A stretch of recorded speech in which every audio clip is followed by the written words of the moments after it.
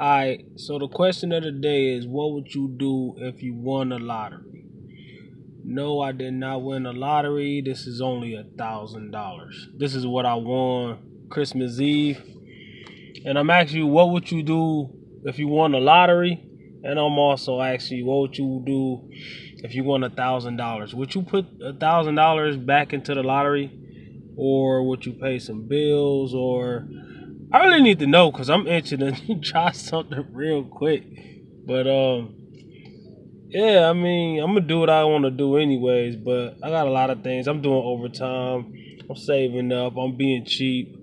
Um, I'm put the. I'm being cheap.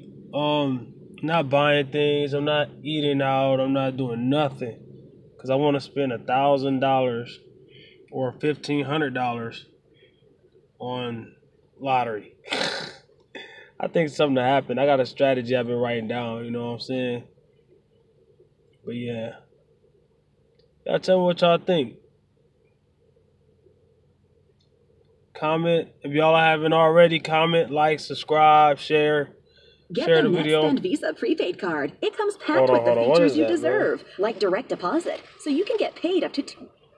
Shut up. Oh, that's my girlfriend's phone. But yeah, um, yeah, comment, like, subscribe, share. I got a whole bunch of other videos. I got a whole bunch of ideas coming out. Um, it's a new year, new me. I got a whole bunch of fitness stuff. I got a fire lit under me real quick. You know what I'm saying? It's all about the Benjamins. So yeah, man. I mean, easy come, easy go. I only I spent a hundred dollars to win this a thousand dollars. So nine hundred dollars. Yeah. Man, I'm putting it back in there. Is it all going back in there though? Stay tuned, you'll find out. Reppin Time Fitness, peace.